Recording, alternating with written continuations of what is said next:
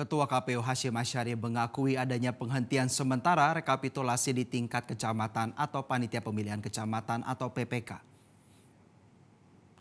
Dalam konferensi pers yang disampaikan Senin malam, Hashim Asyari menyatakan maksud penghentian tersebut untuk memastikan akurasi data perolehan suara yang terbaca dalam sistem rekapitulasi atau Sirekap sesuai dengan formulir model C hasil di wilayah TPS masing-masing.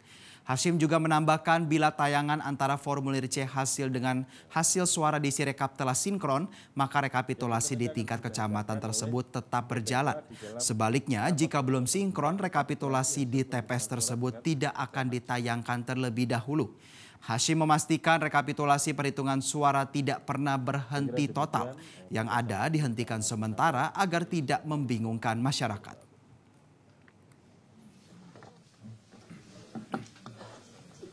Jelajahi cara baru mendapatkan informasi. Download Metro TV Extend sekarang.